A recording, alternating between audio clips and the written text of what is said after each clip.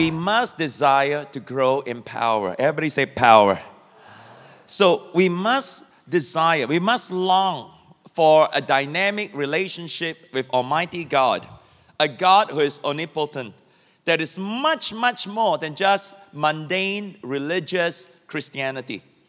Now, at the Jordan River, when Jesus prayed, we know that the heaven was opened and he was filled with the Holy Spirit. That's in Luke chapter 3, verse 21 22. He was filled with the Spirit of God.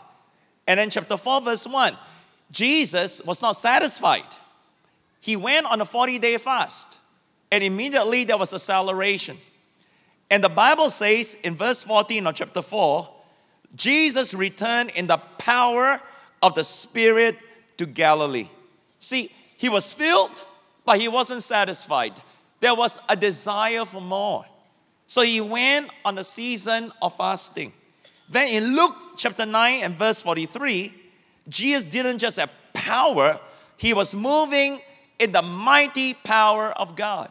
Now, you say, Pastor, you're trying to split hair over here with an adjective, but it's not just a common adjective. The word mighty in Greek means mega, glorious, perfect power. So he was moving in such intensity of the anointing. Nothing was impossible for him to heal, to deliver, to cast out. He was moving in the mighty power of God. And that must be our aim. We must desire to grow from power to power to power. In Acts chapter 2 and verse 14, the disciples were all filled with the Holy Spirit. They were clothed or endued with power from on high. But they weren't satisfied. They kept praying and praying and praying.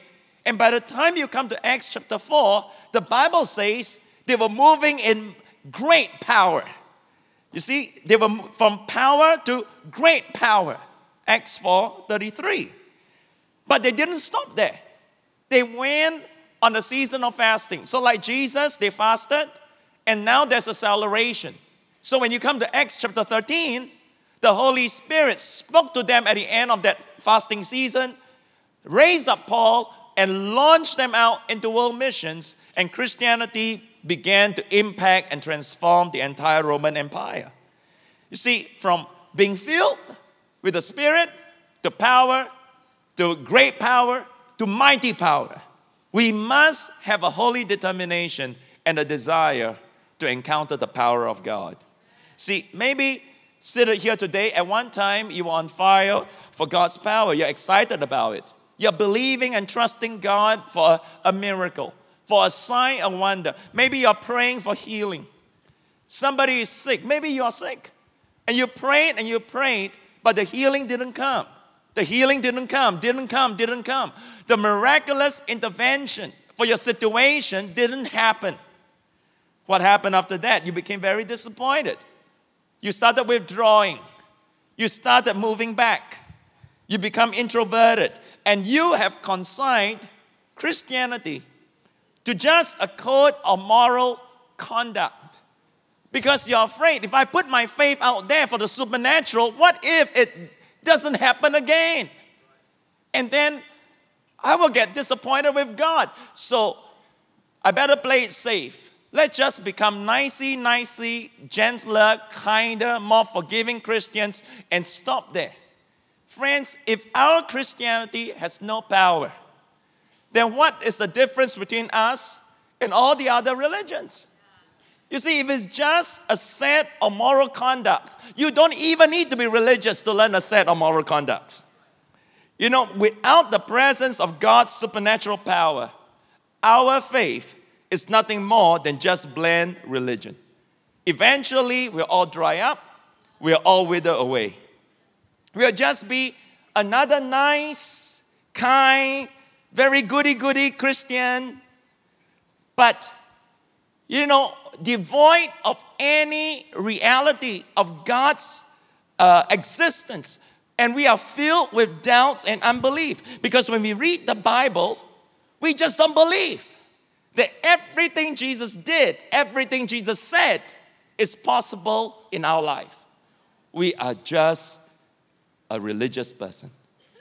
First, Second Peter chapter 1 and verse 3, in the King James Bible, it says, according as his divine power has given unto us all things that pertain unto life and godliness.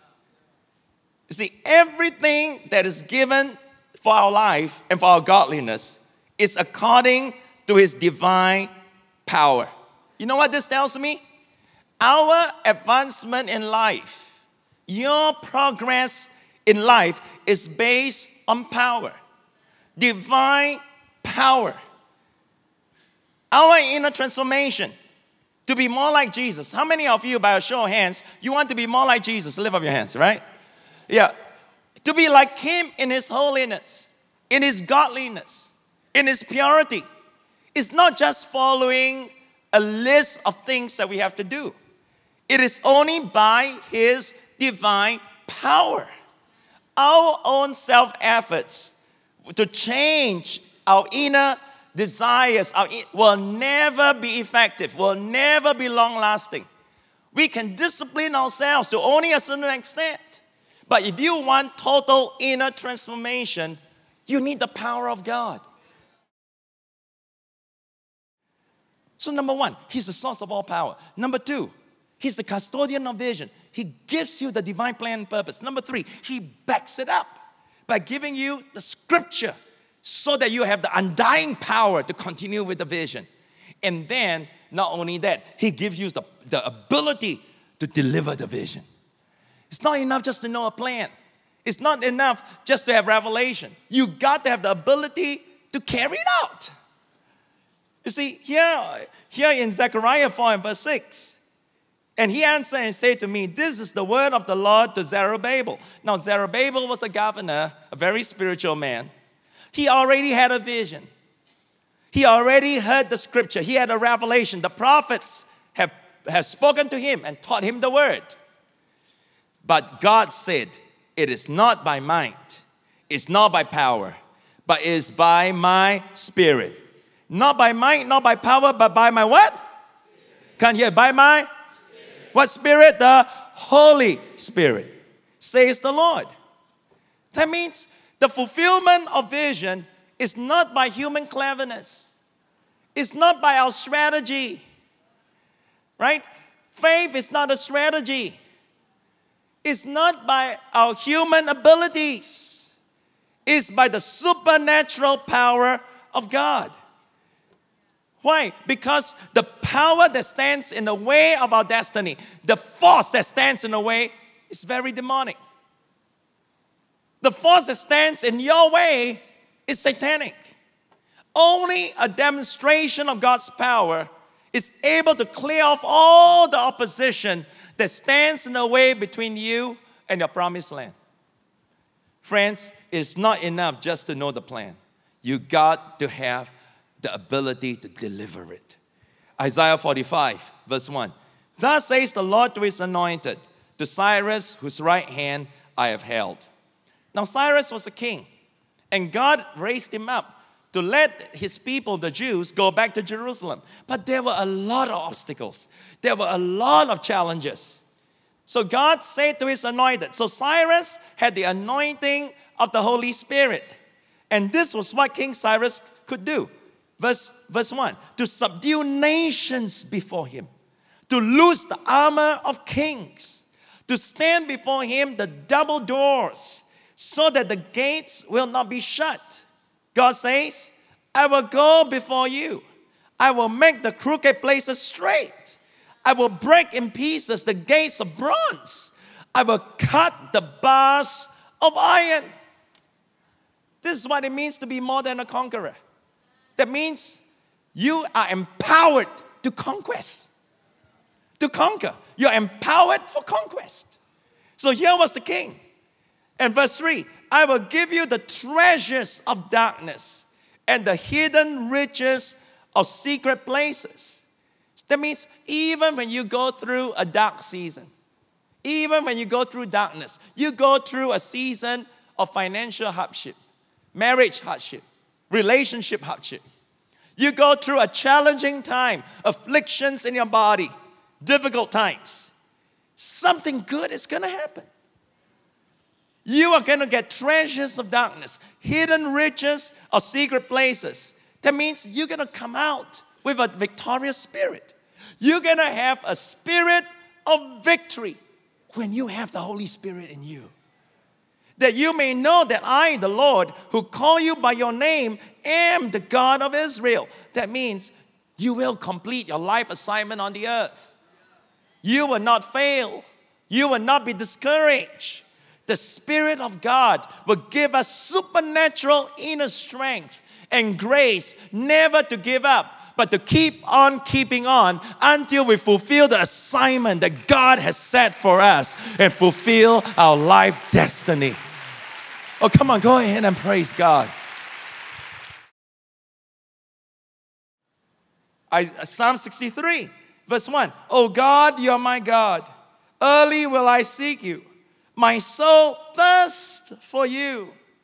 My flesh longs for you in a dry and thirsty land where there is no water. So I have looked for you in the sanctuary.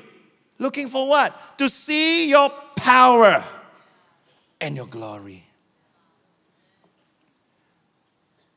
That's why I long for every week when I come to the sanctuary of God to see His power and His glory. Where His power is, His glory will be. Where His glory is, His power will be. The power of the kingdom only answers to demands, desperate demands. Isaiah 41, verse 17. The poor and needy seek water, and there is none. Their tongues fail for thirst. I, the Lord, will hear them.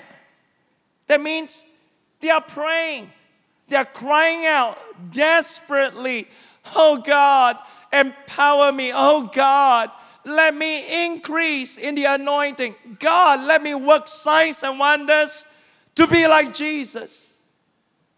See, there's a, there's a crying. I, the God of Israel, will not forsake them. I will open rivers in desolate heights and fountains in the midst of the valleys. I will make the wilderness a pool of water and dry land springs of water. The power of God answers to the demands of his people, of his children. If there is no demand, that means, you know, you have a, well, okay, Sarah, Sarah, whatever will be, whatever, whatever. Yeah, whatever. If you have this whatever attitude, then even when you, when you, you have a need, even when you're dry, you will not find fountains. When you're in the valley season, you will not find a pool of water when there's wilderness everywhere. You will not find springs of water when everything is so dry in your cell group, in your family, in your spiritual walk. If there's no demand. In 1986, when I was seeking God whether I should serve God in a full time ministry of, uh, or not, you know, Pastor Randy saying, a, a local evangelist, said, Kong, this is a big decision. Don't do it because friends are asking you to do it. You better do it if you have a calling from God. You better go and pray and fast. You know, I went for a two week prayer and fasting. At the end of it, the Holy Spirit's power, boom, came upon me. And then I started my ministry and became a preacher.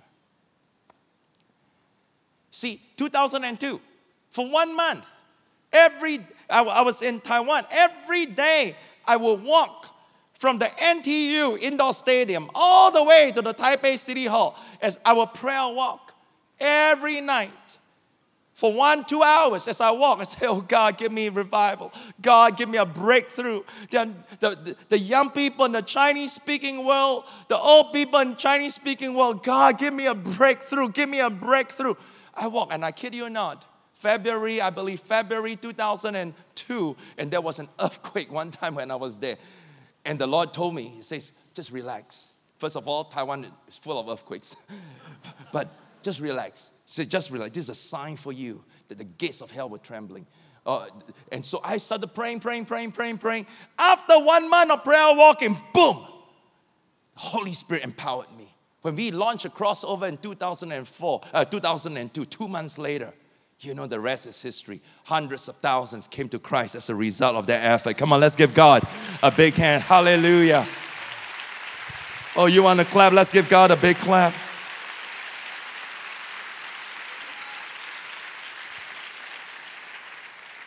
Church, brothers, sisters, let me tell you this God doesn't care about our pockets, He only cares about our person.